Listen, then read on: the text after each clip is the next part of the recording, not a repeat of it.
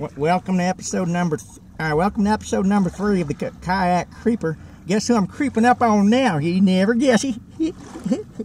Yeah, I'm creeping up on myself and red, red, red Mary. Yeah, that's right. I'm afraid to creep up on anything. I'll creep up on anybody anytime. You name the time and you name the place, I'll be there. Eh, Oop, oop, creeping up on the pearl button too. Bonus creep. Ding, ding, ding. Bonus creep. Two for one creep. All day, all long. Bonus creep.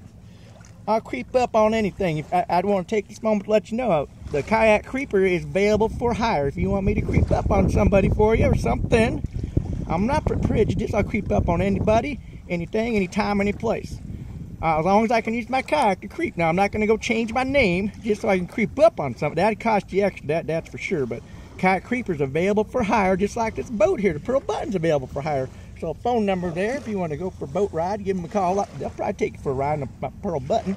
If I creep up by, by myself now, it's about time for me to take take an, oh I got a little sleepy here. I'm gonna take a little well, little nap here before I go to bed. Help cre- creep up on the bridge. I'll creep up on that later. All right, over and out. Episode number three.